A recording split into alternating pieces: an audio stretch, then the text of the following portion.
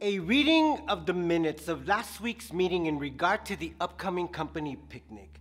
Cindy proposed we get a poet. Alan said that he knows someone who went to school with someone who's currently dating a poet. Sarah raised a very serious concern, stating that a slam poet might scare the children. Proposed find a harmless poet. Action, put out a citywide call for poets. Note, take special care to filter individuals through the interview process in order to control for subject matter, appearance, religious beliefs, and political affiliations. Proposed, no socialists or vegetarians. Proposed, no feminists or Mexicans. Proposed, no atheists or mystics. Subnote, a meat and potato eating fundamentalist albino would be great.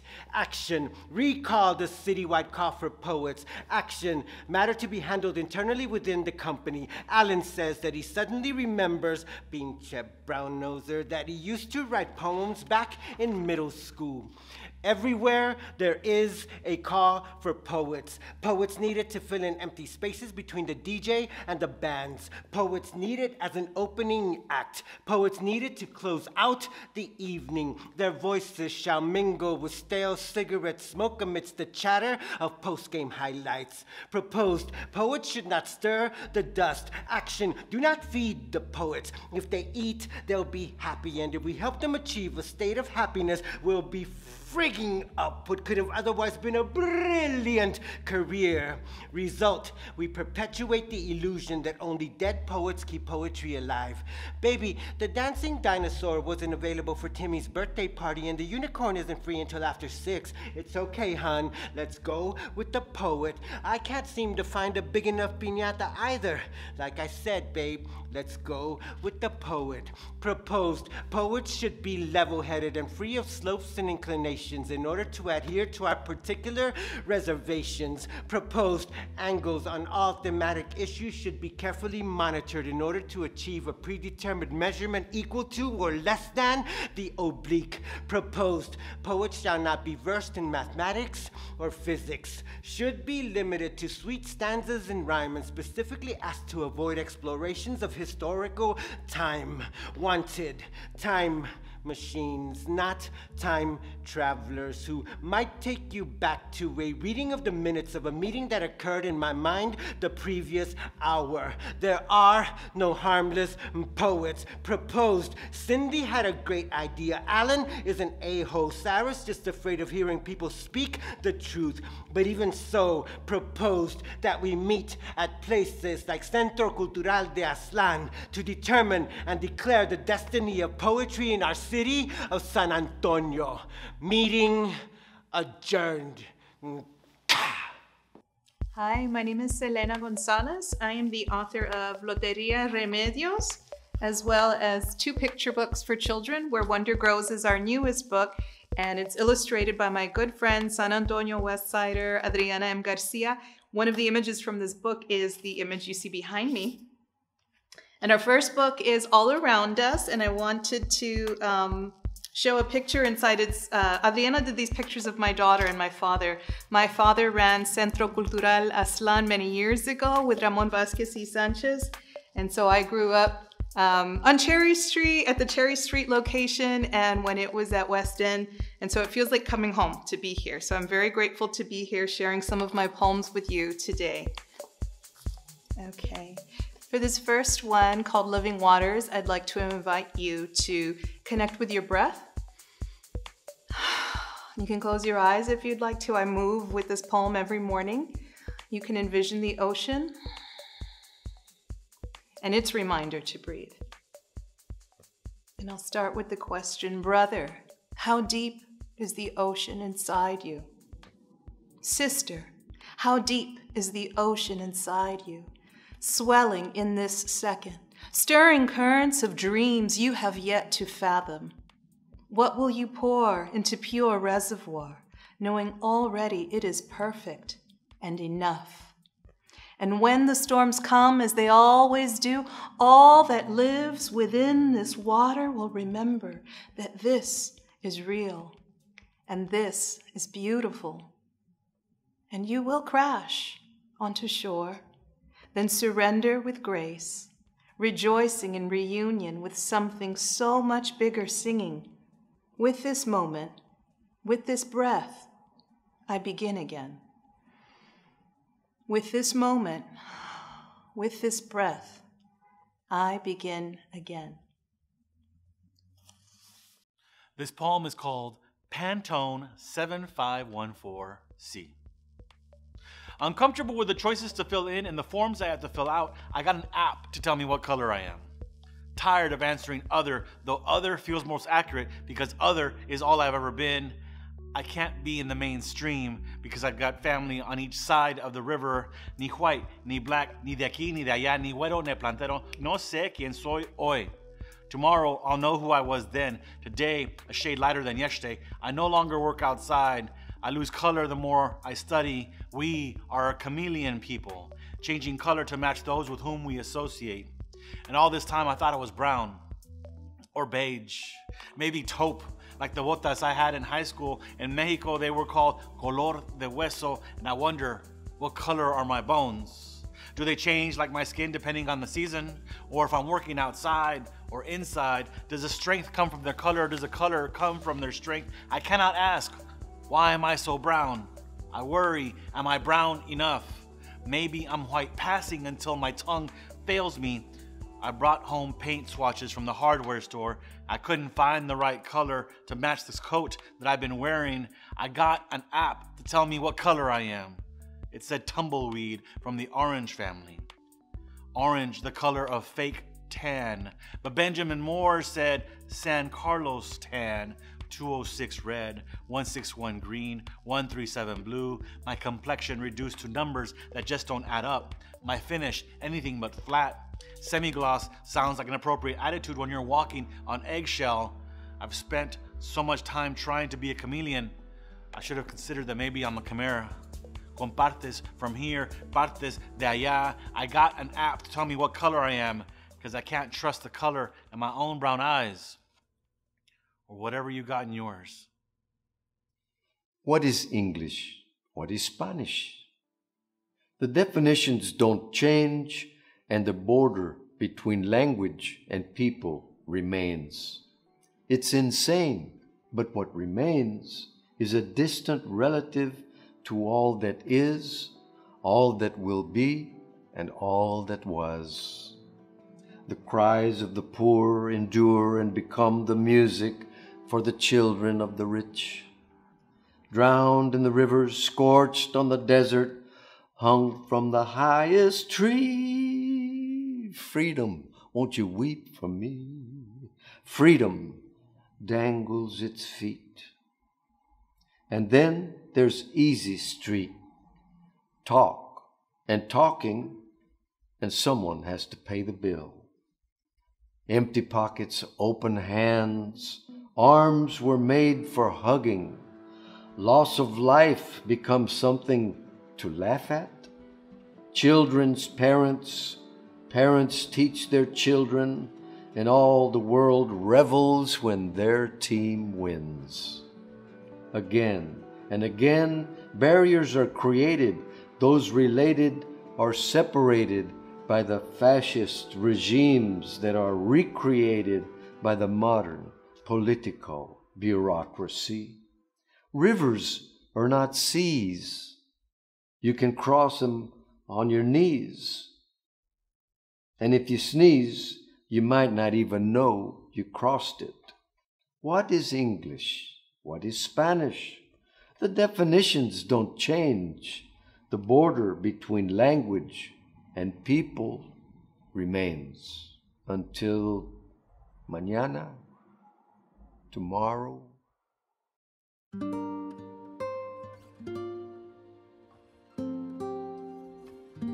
COVID hit, and I looked for a new job hospice in a pandemic. I joked to Isa that the job description reminded me of the Chernobyl TV series. I call her on the phone and read a posting to her Hospice nurse needed. We need one brave hospice nurse to provide end of life care to COVID patients.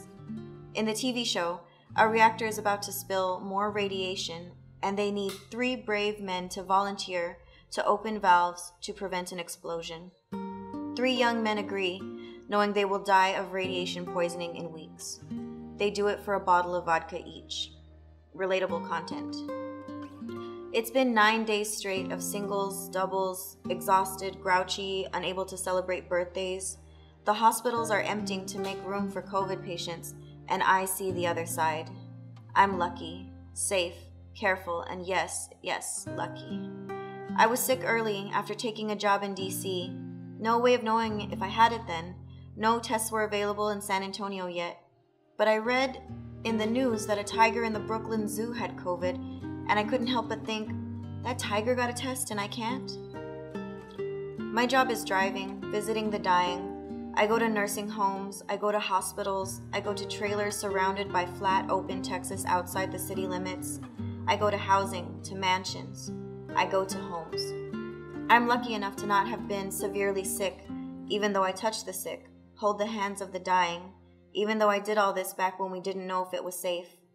I use my own PPE, breathing in their last moments through a paper mask as they breathe them through tubes. The day of the attempted coup, I didn't know what happened. I worked all day, heard pieces on the radio. Before I leave for work, my partner says, There's a riot at the Capitol, and I say, Of course there is and pet my dog as I leave my house. I visit a patient in a nursing home. The sign on the door says, All media inquiries should be directed to our media manager at blah blah phone number. I enter in full PPE, and the nurse who unlocks the door, because all nursing homes are locked now, says, Take off that paper gown. Haven't you heard? The health department says those do nothing. I tear off the gown and put on the plastic one handed to me. The lobby is empty, abandoned visiting stations of fancy chairs separated by 10 foot high plastic partitions. I chat with the nurses, thank them profusely. I walk up to the room, separated from other units by double doors. I reach for the hand sanitizer on the wall, but it's empty. There's a gallon sized pump bottle on a table that says Tito's Vodka. How is Tito's Vodka doing more than the federal government right now? Never mind, just rub your hands, glove up, do the best you can. Everyone told me this patient was so sweet, so funny before he got sick. The nurse tells me he was into watching the news, and when he got a cough and then was rushed to the hospital, he said, I guess this COVID thing is real. And I see him. He's still sweet, still himself, just in slow motion. I check on him, tuck him in, and I know he's not going to make it another day. I thank him. I say, Nice to meet you. I give him Powerade from a tiny cup.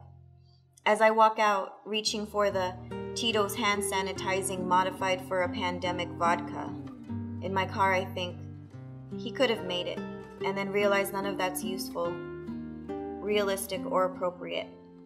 My job isn't to wonder why this so sweet, so funny member of our community won't make it. My job is a good death.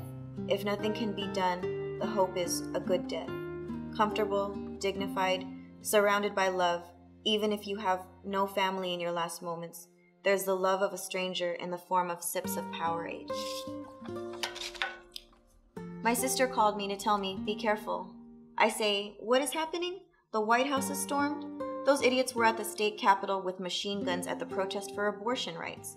They were at the Alamo when we were protesting for Black Lives Matter, and years before at the immigrants' rights protest I went to with Dad. I don't take it seriously, I say, I'm doing paperwork in my car. Love you, call you back. Bye. I go to my next home. Two story in a gated community. The family is celebrating Chinese New Year. Red, beautiful decorations with Texas modifications. HEB bottled water, topo chico, and oranges on the table. The family is watching Cantonese telenovelas. The granddaughters ask their dad how to say, take a deep breath to their grandmother. She says back to them, have you eaten? I think, looking at the ladies, don't worry, I'm third generation. I know how you feel. The ladies lay in bed with my patient, who's over a hundred, speaks no English, and did her own laundry and cooked her own meals last week, but now cannot move. I look at the nightstand. There's a black and white photo of her so glamorous in short hair and a blazer, holding the hand of a little boy wearing traditional Chinese collared shirt and little boy shorts. This little boy is standing next to me, looking at his mother in the bed and his two grown daughters kneeling and crying next to her. and they ask, What can we do? I say this Be with her, talk to her, sit with her. You're already doing the best you can. There are moments of medicine, big equipment, and supplies, but in my job, the best case scenario is this. My homegirl texts me and says, I don't know if you're home or out with patients, but it's wild in DC right now. I text her back, I can't talk right now, I'm doing hot girl shit, and send a selfie of my face, marked red from my mask. It was a trend back from almost a year ago when we all cared, all feared, all tried because Europeans were dying. And now that I'm here in Tejanos, San Antonio folks are dying. It's just a quick joke because shit is too fucking heavy. I got a call that the hospitals here in Texas were on lockdown, and the only thing I thought was good I have time to eat before my next patient. I get called to see a patient who won't make it out of the ER. The hospital is out of PPE. I wear what I have to see her in a negative pressure room. She says she used to be a teacher. She loved to teach art, loved to paint, and now she loves to chat. I ask her if there's anything I can do for her, and I brush her teeth while she's dying of COVID because that's her only request for comfort. Another nurse knocks on the glass and says, that's long enough. I explain slowly, calmly to the ER nurse that it's okay to give more morphine. Then a doctor comes over and asks, What is everyone looking at? as I'm talking to three ER nurses.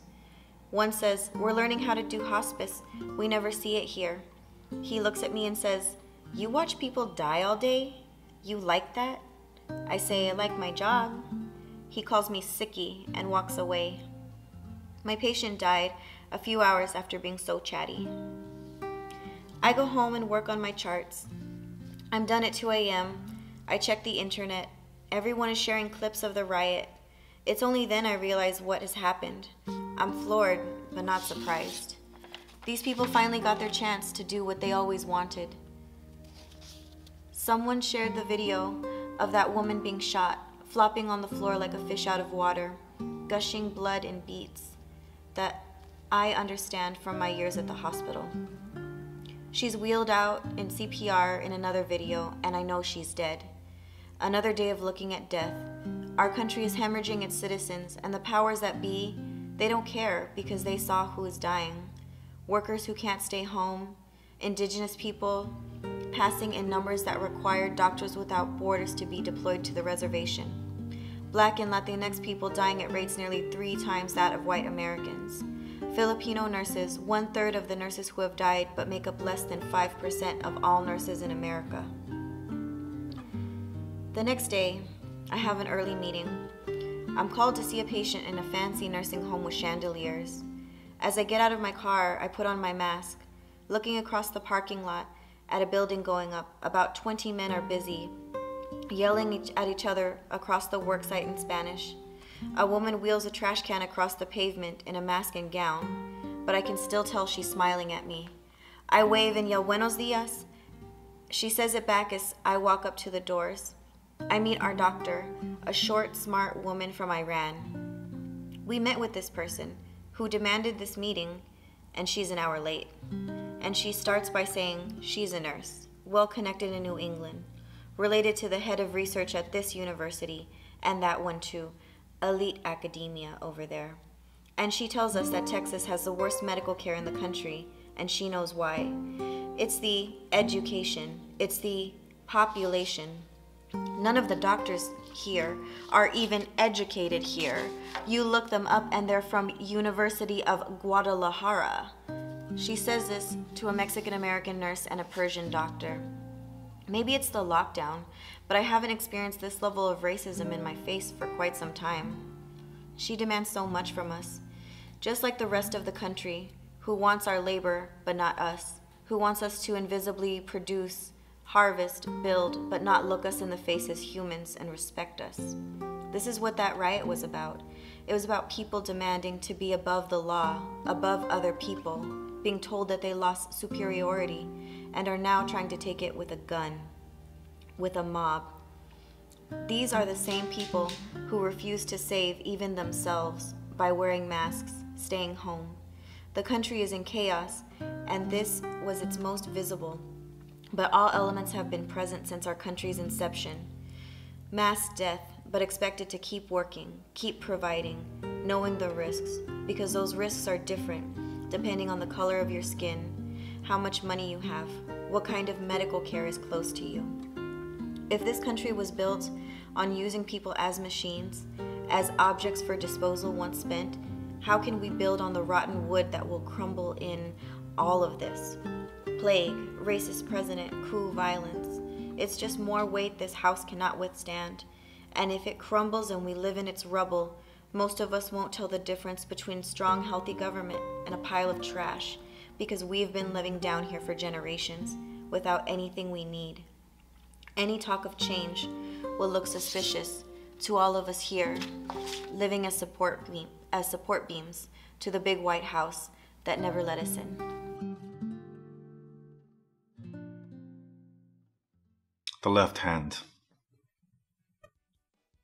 I'm tired of having the same dream every night, I said. The dream in which I lose my left hand doing a job I wasn't born to do. Sometimes I'm picking trash on the side of the highway. Other times I'm saving a drowning man. Sometimes it's an electric saw that jags my hand off. Last night, it got chopped clean by a butcher's knife. Weird, because as a boy, I admired, I admired butchers and liked their knives. Brown and soft, my hand bloodies the floor. This hand that has done the slapping and the punching gets punished by a force that's stronger in dreams than God. It's the same hand that broke a beer bottle on a man's head when he called me hijo de puta. The same one dogs lick for affection. As soon as my hand is gone, I remember it as a gentle animal starving for the touch of something other than that of the right hand. Maybe that's why that's what it was. The starving that turned it into an enforcer. I'm awake now, and I have no way to tell you that even though I live with two hands, one always goes missing in my dreams. What does that mean? And what does that say about my life? If I ever dream my hand floating down a river, should I follow it? Where would it take me? The salmon and the catfish will know I'm crazy. Look at this fool, they'll say, and laugh the laugh that only they can hear. They've waited centuries for me to dip my feet into the water. They knew I would come and try to take what no longer wants to be a part of me. Just so you know, I always have enough time to step out of the river and make my way home. I find you packing your bags, closing the curtains, locking the door. You can't see me, but I see you.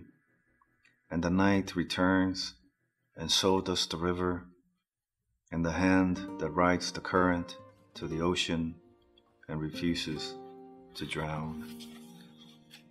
Dejar huellas. Si por dejar que mi voz se escuche por todo el pueblo me cueste la vida, por dejar las palabras traficando a los oídos de los que no están de acuerdo con mi palabra, por tener una voz y defender a los humanos, será mejor morir traficando en la palabra y dejar huellas que morir en silencio. Amaneciendo el día, yo desperté llorando, porque toda la noche soñé que estaba aquí. Not long ago, seems like only yesterday, my daddy was a traveling musician. His instrument of choice was the bass guitar, and he sang from the heart. From city bars to elegant halls, quinceaneras, weddings, and bautismos, city dance halls, and barns at migrant camps.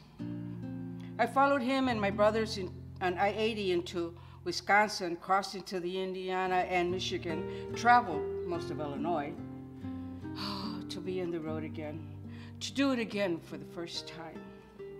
The excitement of loading up the instruments, arriving, and watching them set up. Probando, probando, uno, dos, tres, over and over again. Bum, bum, bum, bum, bum, bum, bum, bum, bum, bum. Practicing the bass pasadas.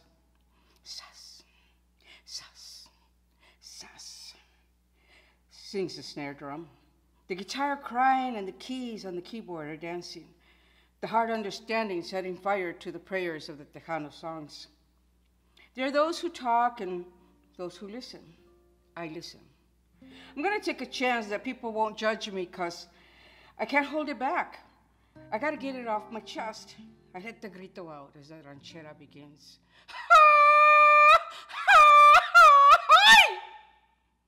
Que yo soy borracho, eso dice la gente. Mi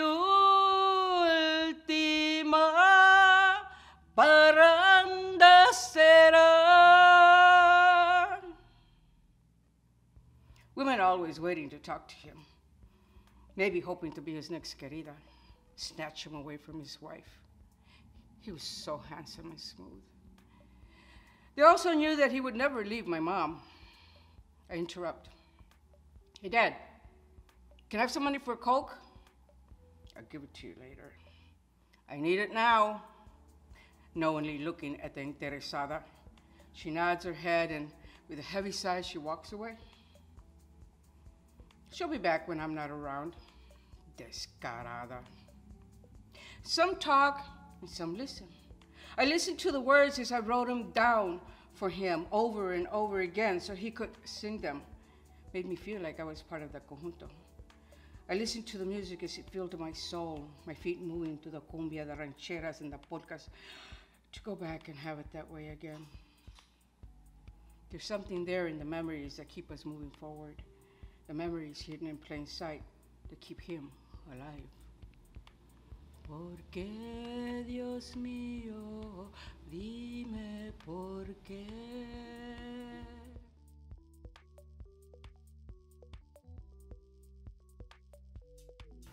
This poem is called The Bar Fight. Once in a while it's a healthy sign. A bar fight once in a while is a healthy sign you still want to live. God's per good purpose sits at the bottom of the drink you have every morning to prove you're a man.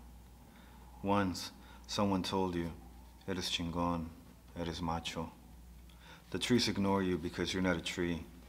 People ignore you because you're not a tree. Still, you want to talk to them, let them know you want to start over. You want to find a new opponent more dangerous than the universe. This is the way to go because Eres un macho, chingon.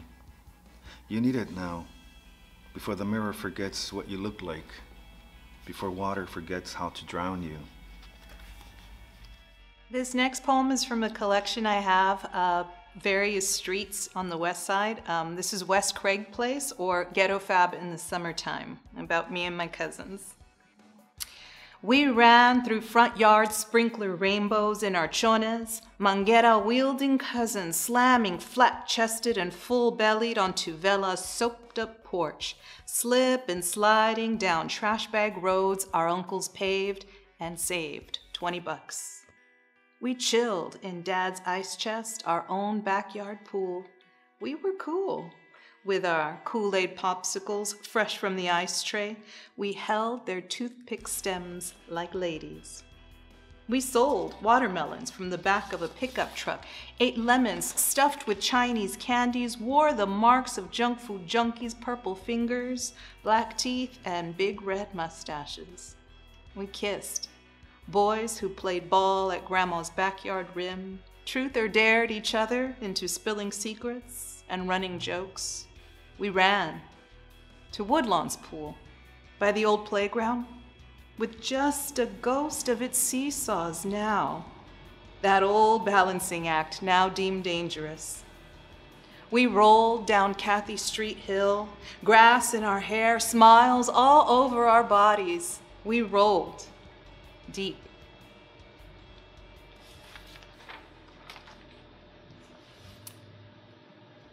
My last poem, um, the last poem I'd like to share, appeared in Drumbeat. This is the newsletter magazine from the American Indians of Texas. I was very happy that they published this. I'd really love to turn it into a picture book one day. So it's for all ages and it's called Of the Sun.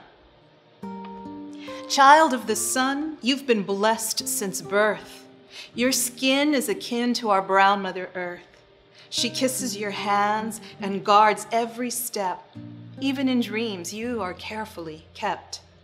For a promise was made to ancestors before you who brought life to the land with the bounty they grew.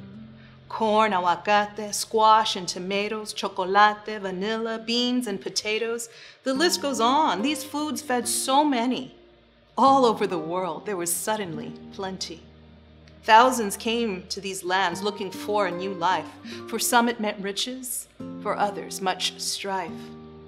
But the land is the keeper of original story. She protects all the tribes who once shared her glory.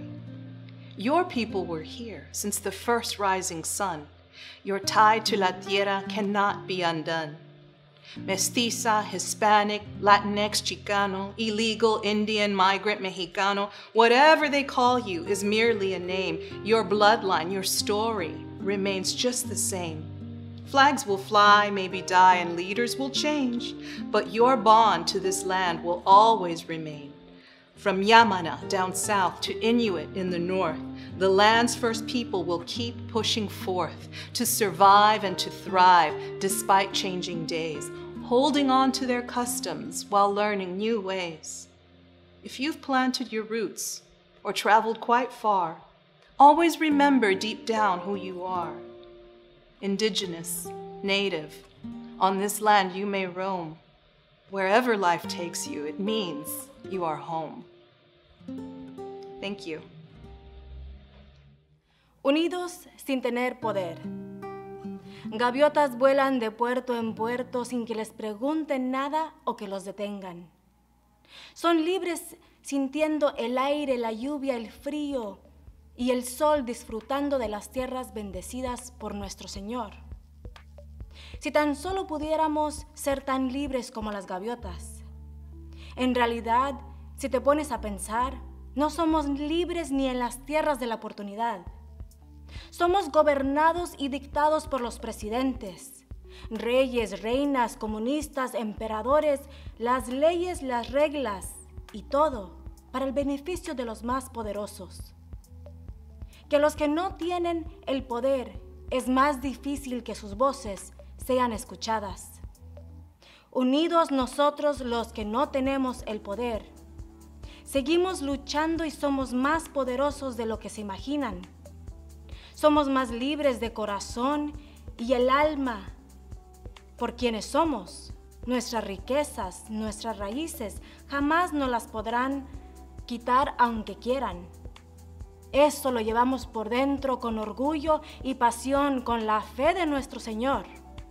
Jamás nos la podremos dar por vencidos cuando está la esperanza de las gaviotas y se haga justicia. Oiga, Señor, no me compra. Chicles, chicles, pepitas, pepitas. Oiga, Señor, no me compra are the words known to the children of another country, having to work, give up school because they live in poverty. Chicles, chicles, pepitas, pepitas, oiga, señor, no me compra, are the words these children live by to help their family. But their dreams and hopes are much greater to go to the States, legal or illegal, and say, Chicles, chicles, Pepitas, pepitas, oiga, señor, no me compra. Behind.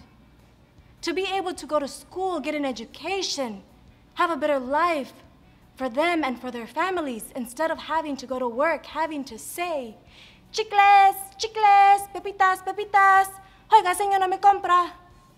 The words they now live by are a dream to pursue a better life in the land of opportunity and say goodbye to chicles, chicles, pepitas, pepitas.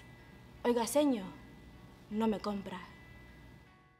Silver glitter high heels sparkle as she moves.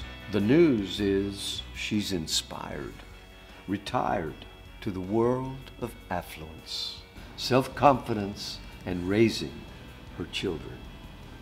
Remembering when things were not easy opening windows as she goes, to allow the breeze to bring in the smells of society, the woes of those that did not make it.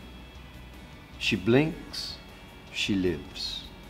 Exuberance of youth hovers and twists and turns and dips and swerves and lands on her forehead above her third eye, and I am out of the picture.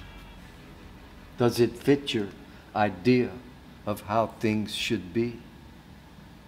Can you see that I, too, was young? And youth never leaves us. It resides within where old age and worry have never been.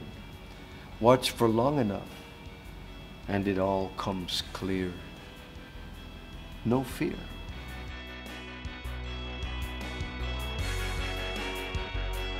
We've all been going through some very hard times, and there are a lot of people who have been helping us get through these very hard times. This is for some of them. Let's say grace. I try to teach my son that we will not eat or quench our thirst without humbling ourselves for a moment and praying first.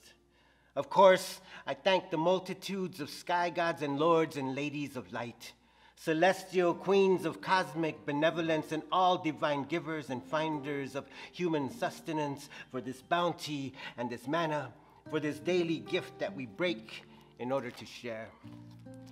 But I also thank the many, many, many manos and so many hermanas and hermanos whose hands and arms and backs and legs and feet have miraculously placed this food here for us to eat. Without considering all the work behind every dish, it seems as easy for us as simply making a wish.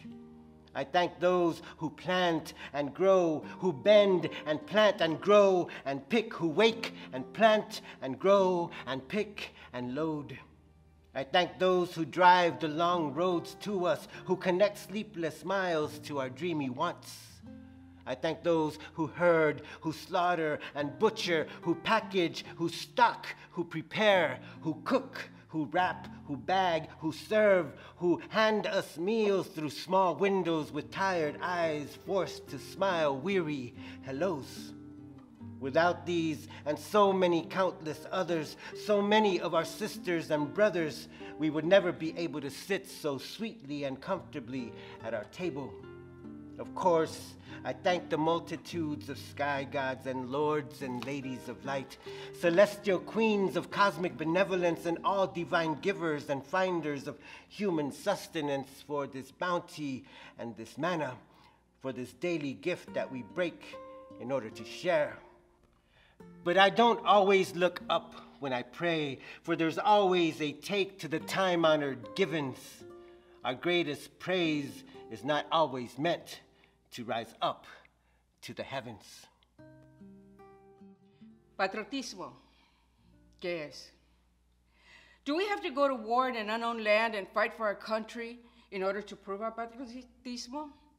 Do we have to risk our lives against soldados we know nothing about except that they too are defending their country?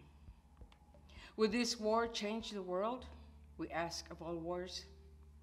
Nuestros padres, nuestras parejas, los hijos, los hermanos, ¿tienen que sufrir our absence while we prove our patriotismo? El patriotismo no nomás se demuestra en una guerra, en una tierra extraña, contra soldados que no conocemos or that we personally have nothing against. Patriotismo se demuestra when we served our military, even in the face of discrimination, when we were only allowed to uh, scrub the deck or paint the ship, o trabajar en la cocina peeling the potatoes o lavando los trastes. We went and defended our country in spite of this, when our troops were separated by colors, like when you do the laundry. Patriotismo is watching your child go off to war and your heart is heavy and your spirit cries because it does not know if there will be a reunion embrace.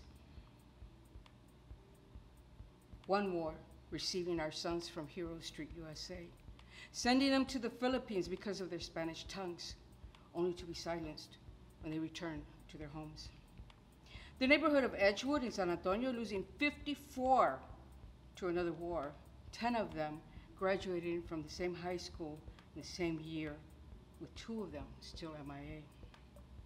Yet, we are a very patriotic family, said Gloria Carson, sister of one of the 54. Many of our returning soldados were never honored until after death, or the families of those we lost in battle, esperando años para recibir el honor to be bestowed on their loved ones. Patriotismo is knowing that you have to drink from a different water fountain and enter through the back door. Yet, we do not hesitate to take arms to defend lo, lo poquito libertad que nos permiten. Foreigners in our own land, quizás, but it's our land. Y a pesar de todo, we are orgullosos of our patriotismo. Patriotismo is not just defending and sacrificing in times of war. Patriotismo is forming the American GI Forum to serve and assist the needs of our veterans and their families, and fighting for our veterans' right, who are American after all. Patriotismo is leaders like Cesar Chavez, who fought at home and sacrificed for the dignities deserved to all.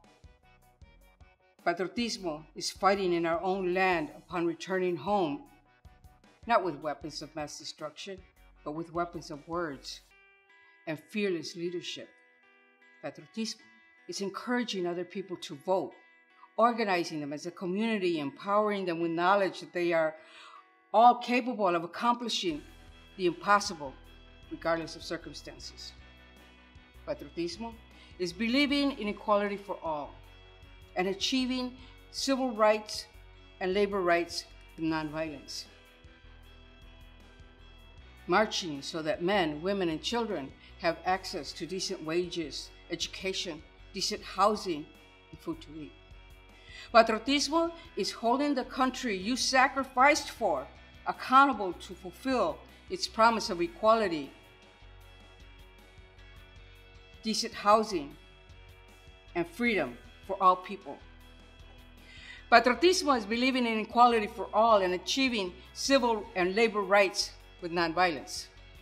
Marching so that men, women, and children can have access to decent wages, education, decent housing, and food to eat.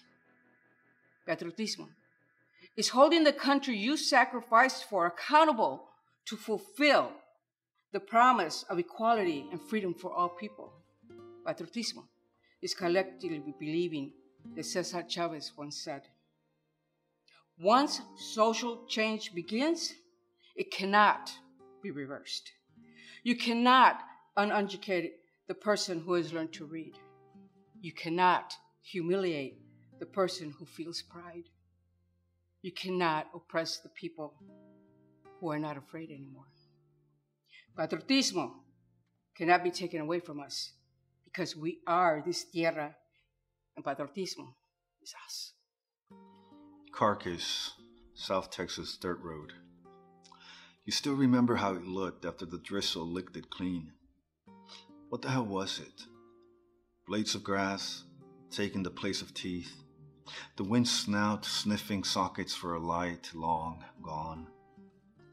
You must have been nine years old, old enough to know that dust is raised to fall on dust again, old enough to keep secrets. Years turned horror into poetry. Maybe you want to go back to the wood frame house sitting on concrete blocks, to the mutt you saved from drowning in a canal, to the girl who had no faith in you. She had a pretty yard. Her father worked for the city. Maybe you don't want to remember her. Or that your father was without legal papers, all day digging trenches for plumbers, always walking on that, on the dusty Colonia road, that darkened when wet, like a monument for old bones. So, you think it's easy being an earthling? Think again. Taxes, Texas, tripe, treason, trigonometry, trips, traps, try, trollop, and all those other words that start with T. It ain't easy being an earthling. And then there's gravity, and some grave situations, governments and nations and proclamations and. Damn, what's that lady's name? All the games employed, the words and the toys, smog, they call it. You might think it's easy being an earthling. Wars, Mars, the moon, June, July, and why did you lie to me? And, and, uh, oh man, what's the name of that tune? Oceans polluted, rivers you can't drink out of, water wasters, skirt chasers, womanizers, man haters, jail baiters, porn abuse, and this stuff called drugs, and not enough hugs, insurance, jail, bail. What's it cost to mail? Freedom, free world, free trade, free love, frida, calor free speech, being cool, being hot, and if you're not and get caught, no, hombre, forget about it. Questions, answers that take you nowhere, babies, making babies, trying too hard, not trying hard enough, not giving, not caring, not sharing, believing that it ain't easy being an earthling. Shuttle to the moon leaves every 20 minutes, no waiting in line. Shuttle to the Mars, hey, every 20 days. You don't like it on Earth? This is my planet. Love it or leave it.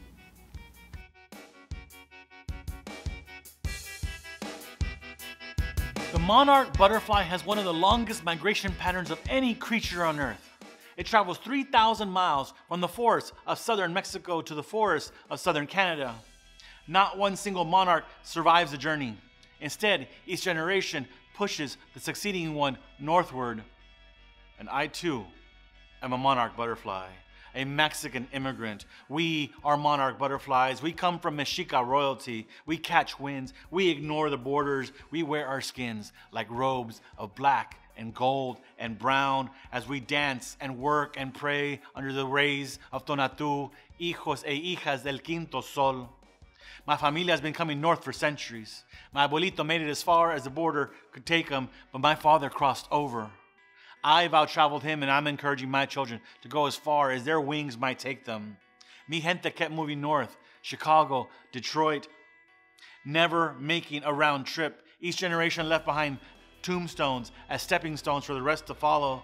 And maybe you can call it assimilation, ese, but we had to adapt to survive. We couldn't blend in with our sarapes and our sombreros, so we traded them in for ball caps and button downs.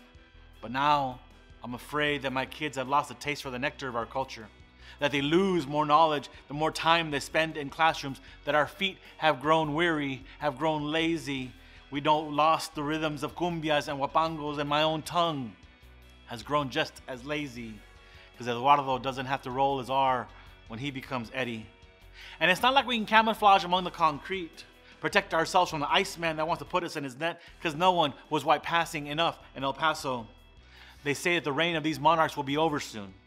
Development has cleared out the roots that have existed for centuries. There's literally no place for the monarch to call home as it moves north. Soon they'll only exist in captivity as caged butterflies. The Mexica believed that each butterfly was the soul of an ancestor. And if our ancestors can't find places to rest in this country, what hope is there for us? How can they visit us if they can't find us? It's like Dia de los Muertos without any muertos. I woke up every morning in a country whose president has called my father a criminal. But my father is royalty, and you can't command monarch. Ne, nemelisli, akan welitli. The journey is not over. The monarchs are coming back in bigger numbers. Migrants from even further south are coming in droves. We can't be kept in captivity. Our kids cannot stay caged. You can't send us back to the cocoon. We have wings. We will fly. We will adapt. We will call this place home so our ancestors will know where to find us. Solo. Otra vez solo. ¿Y qué? El mundo sigue dando vuelta, el sol y la luna suben y bajan y todo parece seguir igual. Cada instante distinto y diferente, transformación perpetua. And then I feel grounded near the beating heart of the city by the river, jubilant city, fiesta and gorge sound like loud water, freeways packed, streets amiss, tolerance pickled, tested to the maximum, the old roads, less travels, still will get you there. Carbon footed manuscript of an ancient society at war with itself over small imaginings, the beginning of a new end, an endangered populace reveling in its own demise. Those in charge suffering from trigonometry, itchy finger, eager to point, frenetic dreams of afterthoughts that lag behind, then catch up fast and diligently claim their space in the noosphere. Rebel visionaries seek to save the day by patiently standing by, perusing their dictionaries for the proper words to fill in the blanks on the reformational guidelines recommended by the status quo. The thirsty earth hungry dirt, poor rivers, evaporating lakes, vanishing forests, all become part of the poem written on the back of this fallen leaf from the poet tree. Solo. Otra vez solo. ¿Y qué? El mundo sigue dando vuelta. Transformación perpetua. Ay, Michelle, mi chula, mi chola. I'm all caught up in your Aqua Net, captured by your copete. Perfecto, sin fleco, con efecto atento. Ya es tiempo que tú y yo saldremos en una cita a las vistas o al Sonic to have a shake. Ay, Michelle, mi chula, mi chola. The rhythm of your chanclas is a siren song that I can't forget. Written in the wry smiles of your pencil thin brows, I want to kiss your café con leche lips after, as we move our hips to cumbia rhythms and boleros con style. Ay, Michelle, mi chula, mi chola. I want to take you for a cruise in my Impala. Your legs go for days in esa minifalda. My heart goes for miles con tu sonrisa. Como una brisa, take me to misa. I'll be yours, sin prisa, para siempre. Tu chulo, tu cholo, tu cholo, all caught up in your Aqua Net. So you take a picture of your father. you take a picture of your father with your new cell phone. The last one you take of him, thin and frail, looking like a praying mantis, as he brings his hand to his mouth with a piece of bread. If he pretends to eat, it is to appease your hunger to see him eat, and not to appease the hollow he knows. It's over, and you know it. Hours all you have now. After wasting years in silence, you, in the same path as his to reach this moment, where you hold up your heads like dim lamps and face each other, all light now, as you search in his eyes for closure, anything that doesn't require words, a doorknob perhaps, that opens the sky before you. Mom's tacos de frijoles. Sitting in front of the laptop, working on my poems, eating cold tacos de frijoles and drinking coffee. Reminds me of my teen summer days when Dad would take us to work in the cebolla and the tomato fields. He said he wanted us to learn what it was to earn money through a hard, honest day's work. My mom would make us tacos de frijoles for our lunch with fresh tortillas made that same morning. We would also enjoy her blanquillos con papas tacos. She waking up at 5 or 6 in the morning to make sure that we ate before we left. If we were working in the tomatoes, we would eat some with our tacos. If we were in the cebollas, Dad would eat one with his tacos. Oh, disgusting. The taste of a fresh tomato is like heaven. Cebolla, eh, not so much. Híjole, man. Those were the most delicious meals. After a long morning of being bent over, hands dirty with the wet dirt, sweating faces, and soaked bodies, we wore long pants and long sleeved shirts on the cold mornings. We would start the day with two or three shirts and then peel them off as the sun slowly let us know her force. If it had rained the night before, our shoes would be packed with mud and make it hard for us to walk. Although, when you're picking tomatoes and onions, you spend more time on your knees than on your feet. Then you ended up with knee pads made of mud. Sometimes mom would pack us some coffee for us. Most of the time, if we could, we would run to the closest gas station to buy a Coke. There was a cooler of cold water on some truck or another. My dad would warn us to be careful drinking cold, cold water on the days that were extremely hot. You can die from the shock of the cold water hitting your overheated bodies, he would say. When we were done eating, we would spend the time horsing around, and sometimes we would engage in tomato wars. I would not recommend this with the onions. They hurt like hell. The worst was getting hit with the rotten tomatoes. Man, I hated it when I would reach under a bush and grab a squishy, rotten tomato that would sometimes release its foul smell. I think back on those days when we dreaded that part of summer. Now I look back and reminisce on the experiences. And sometimes wish I could go back in time. The smell of a fresh, wet onion field as I'm driving by brings an onslaught of nostalgia for my siblings and my parents. Well, I'm done with my tacos and my coffee cup is empty, so this poem is over too.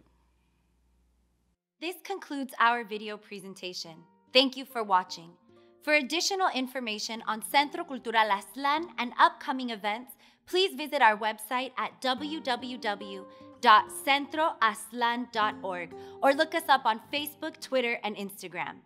Also, if you missed some of our previous video presentations, we invite you to subscribe to our YouTube channel. You can contact us directly by phone at 210 432 1896. Muchas gracias.